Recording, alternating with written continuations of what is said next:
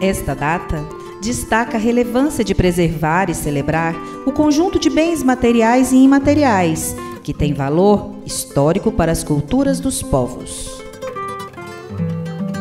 O patrimônio material é composto por monumentos, grupos de edifícios ou sítios que tenham valor universal do ponto de vista histórico, estético e antropológico. O patrimônio imaterial está relacionado com práticas e domínios da vida social, culinária, saberes, fazeres, celebrações, festas,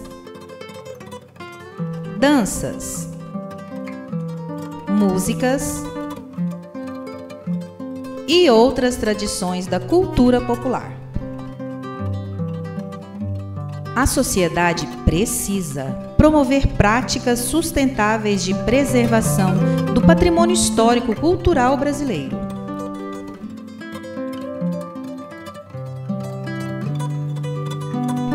História, memória, valores, identidades.